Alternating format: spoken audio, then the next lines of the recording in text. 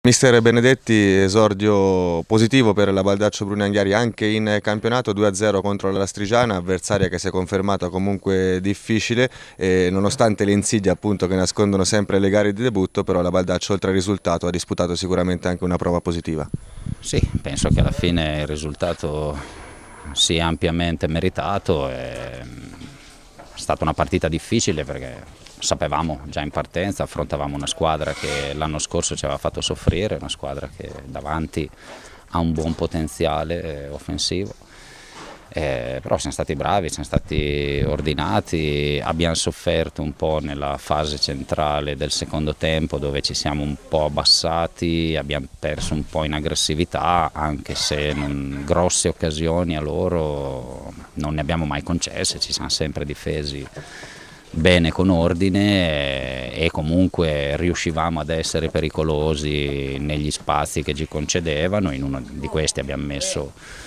abbastanza al sicuro la partita, potevamo eh, già andare sul 2-0 nel primo tempo perché dopo il vantaggio abbiamo avuto un'altra grossa occasione con Quadroni, e, però ecco, tutto sommato va bene, era importante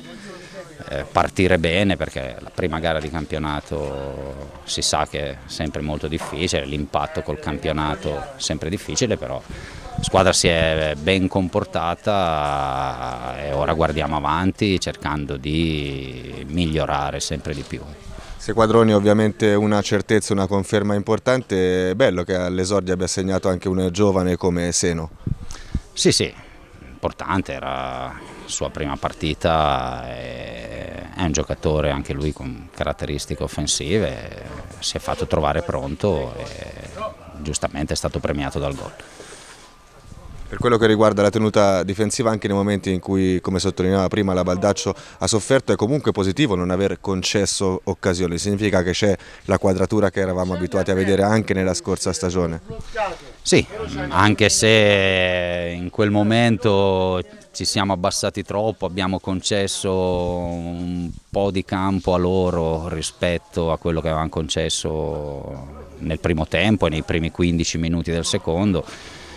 però nonostante quello siamo stati bravi dietro non, nei duelli, era importante oggi vincere i duelli individuali dietro e loro comunque hanno dei giocatori